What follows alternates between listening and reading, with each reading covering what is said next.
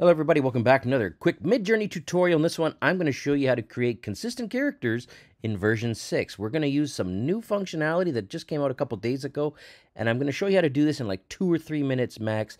I see lots of 15-minute videos. This is a quick thing to do. Let's go. Here's an example. Here's a lady, a picture I've got of her, and then bang, I put her in there.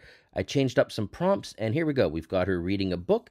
Three of these four images are quite good, even though she's got a little bit too much um, of that plasticky look to her skin, but that's okay. Her image is also kind of a little bit plasticky, so keep that in the back of your head.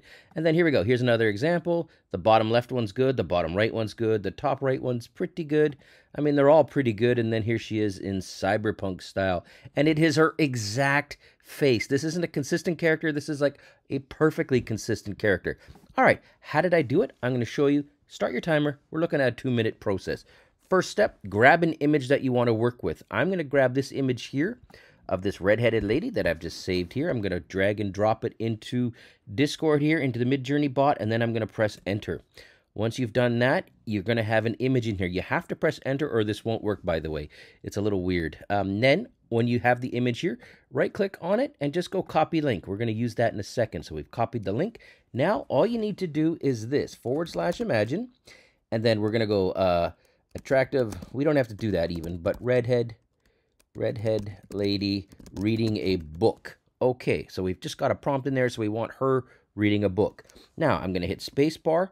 Then I'm going to hit the dash twice, dash, dash, C-R-E-F. This is character reference or C-ref as they call it and then I'm going to hit spacebar. And now I'm going to copy in that link I saved earlier. So I'm just going to hit Command V. I'm on a Mac. If you're on a PC, it's Control V. And paste that in there. Now, the last step is if I want her to be wearing the same outfit, then I'm just going to go dash dash CW space 100. What this means is it's just going to leave it as is. If I want the Midjourney to try on some different outfits, maybe put her in a pink outfit and a blue dress or something like that, or just have some latitude to make some changes, I'm going to press CW dash dash CW and I'm going to press zero so that it changes her her her dress, but it keeps her face the same. So let's just do it regularly. It's going to be dash dash CW 100. I'm going to hit enter and then watch this. And when I come back, you'll see what we got and we'll call it a day. All right, welcome back. So let's just click, like I can already tell these are outstanding. I'm going to click on it here. Remember, this is the original image. Just keep that in the back of your head. Bang, look at that. Look at this top left image. That is fantastic. The bottom right one is fantastic. The top right one is pretty good, but her, she's got a little bit of a vacant stare there.